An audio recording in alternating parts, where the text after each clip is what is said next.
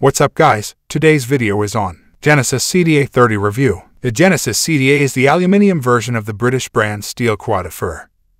The bike Vin Cox rode to the round the world record in 2020. Genesis says it's suited to commuting, utility, touring, road and gravel, beaten up B roads, bridleways, byways and everything in between. The CDA will tackle it with a grin, goes the description.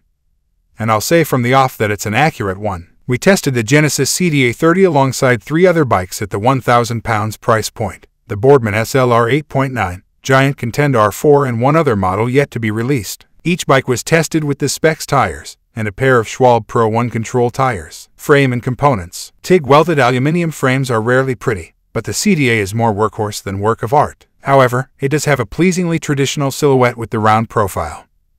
6066 over 6061 double-butted tubes. The fork itself is made of steel. It looks indestructible, and it probably needs to be. It's studded with rack mounts and looks ready for serious haulage. The Hellraiser-like mounts protruding from every tube are another striking feature of this bike. I counted 24 in total, meaning you could probably load it up with the contents of both Sainsbury's and Millets on your round-the-world race if you didn't want to risk local hospitality. There are mudguard eyes front and rear. The Genesis seems slightly dated with its quick-release dropouts rather than through axles. The fork dropouts face slightly forward with the aim of reducing force on the QR under braking. However, for a bike that's likely to be used more on road than off.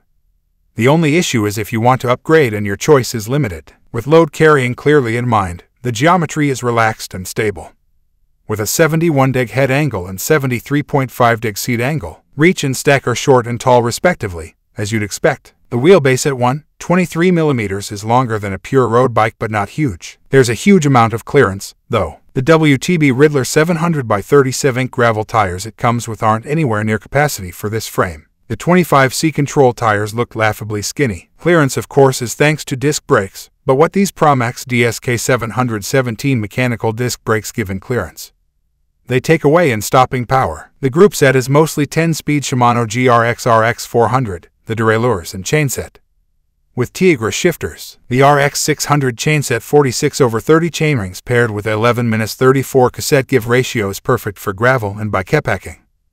And most people won't need bigger or smaller gears for bog standard road riding. It's clear the wheels are built for strength rather than speed, 232H fairly bomb-proof looking jobs. The finishing kit is all Genesis's own. The flared bar is a nice touch for gravel riding, and comfortable for touring too. The ride, the armored spec takes its toll on the overall weight making the Genesis at 10.85 kilograms a bit of a beast. The geometry was always going to have a similar effect. Sprightly is an overused word in bike reviews. Rest assured I won't be using it here. However, the surprise is that the Genesis feels so smooth. Aluminium's reputation for harshness still persists.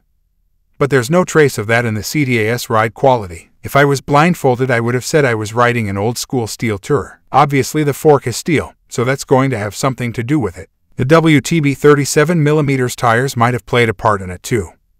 But even with the 25mm control tires fitted it still felt as though it could steamroller anything in its path. The first time I rode the Genesis I felt as though I was having to put in a bit more effort than usual to keep up with my ride mates' accelerations. However, the next time I rode it solo I was actually quite pleased with my average speed having gone over two local main road climbs, particularly enjoying the fast, stable descending. Speed on main roads in theory ought to be the CDA's Achilles heel but, with suitable road tires.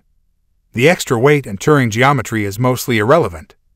It's perfectly possible to achieve a lowish roady position over the bars. The CDA does have an Achilles heel though, and that's the mechanical disc brakes. Even after what should have been a decent bedding in period, they were pretty poor. We assessed the braking speed of all four test bikes, with a rider accelerating to 30 kph and then measuring the distance taken to stop. The Genesis was fourth of four, at 4.73 meters versus 4.2 meters for the Boardman SLR 8.9. Fully loaded with Sainsbury's and Millets on board I definitely need a longer tape measure. To be fair, better pads than the stock ones might improve it a bit, but these brakes would still be nowhere near the level of hydraulic disc brakes, which gallingly are spec'd on mountain bikes at this price point, and it's got to be a sorry state of affairs when rim brakes are superior. Value and conclusion. The Genesis CDA 30 gives a lot of bike for £999 and it can do so much more than the pure road bikes on test. If you're looking for a more comparable bike for majority gravel, the Sonder Camino Al Rival 1 £1,299 gets a better spec with SRAM Rival 1 for the extra £300. The CDA is a jack of all trades type of bike, and it's true that it isn't a master of the individual terrains or disciplines in the same way the Boardman is of the road at this price point, for example, but with a lot of cyclists wanting their bikes to do a lot more these days.